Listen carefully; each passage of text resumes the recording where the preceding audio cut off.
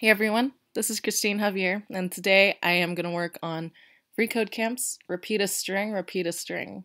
So essentially here you're given two arguments, the first of which is a string, and uh, the second argument, num, represents the amount of times you want to repeat the string. So just a quick look at the test case to see what that's about. Let's say we have there the asterisk, um, and the number three, you want to return the asterisk three times, and yeah, that essentially holds true for all these cases. All right, so let's get started. I'm just going to copy this into my text editor.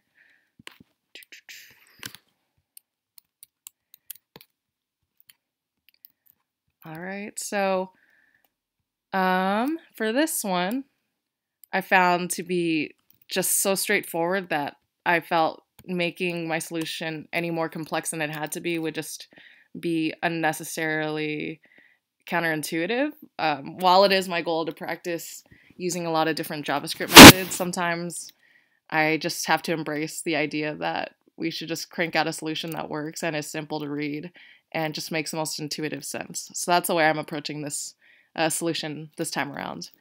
Um, so the so essentially here, what I'm going to do, my mind immediately jumped to using a while loop. Um, and yeah, you're just going to append onto an empty string uh, the string uh, x amount of times or num amount of times. So what I want to declare first is an empty string. Let's call it answer string.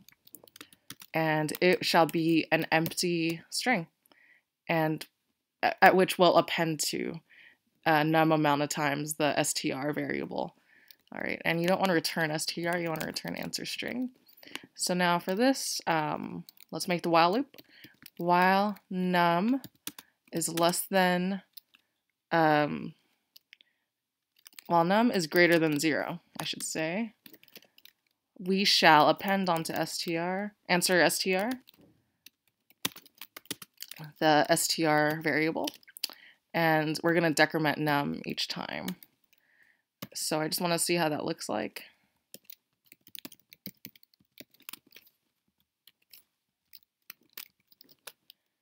Let's see, I want to take out the semicolon.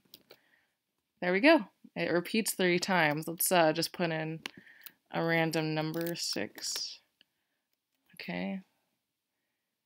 Yep, that works. Um, let's just try zero. What happens there? Zero is good. Negative one, what happens there? Okay, returns nothing. And I think that's what the instruction said. Return an empty string if num is a negative number. Okay, let's see.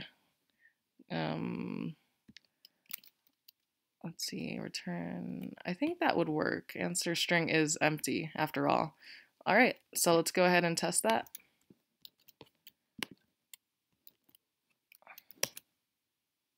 Cool, it totally works. Um, yeah, let's, I just want to go back and show you one line I might have changed, but it essentially works the same functionally.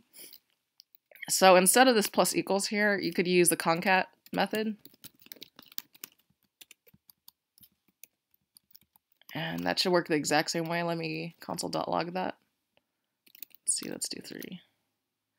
Answer.concat str.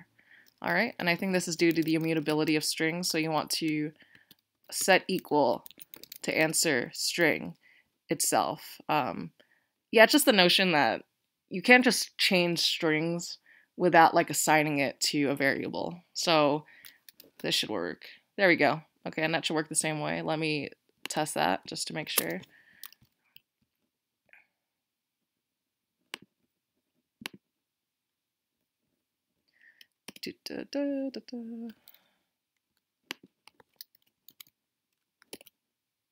Cool, and it totally works as well.